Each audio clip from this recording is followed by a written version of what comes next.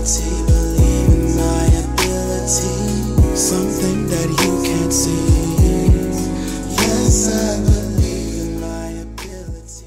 Welcome to Combating Spasticity with Shelton. Today I'm taking a quick break from the exercise routines and instead I want to do a quick dive into some recent research on dalfampridine as a treatment for spasticity and HSP. As you may know, I am not a doctor or a medical provider.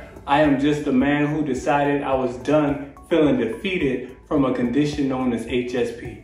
I'm taking my life back from HSP, and my ultimate goal is to see others taking their life back as well. I value your time, so this is going to be quick and straight to the main points. Let's get started by defining HSP. HSP is a group of inherited disorders characterized by progressive stiffness and contractions in the lower limbs.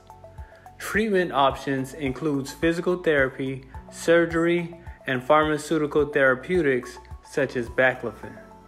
Dalfampridine, known commercially as Ampyra, has been primarily used to improve walking in MS patients.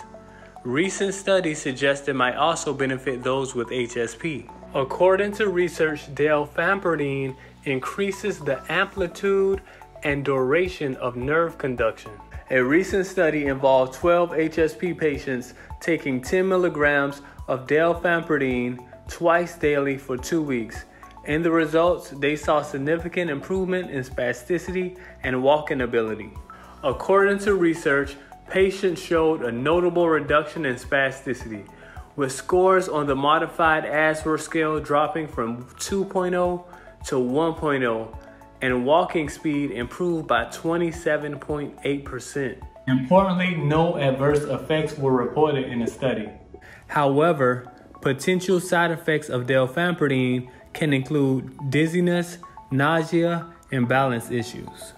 In conclusion, this study yields encouraging evidence that dalfampridine may be a helpful option for HSP patients. However, further research involving larger samples and more comprehensive assessments may be needed to validate these results and establish the clinical benefits of this treatment approach. It would be ideal if we could find more natural options with zero side effects, but I'm open into learning more about this if it could truly help. Please don't stop here. Do your own research, and if you think this might be right for you, discuss it with your neurologist. Maybe some of you have already tried it.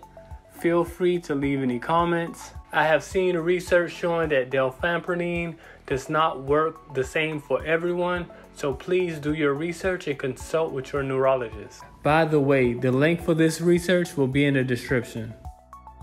Thanks for watching. Don't forget to like and subscribe for more.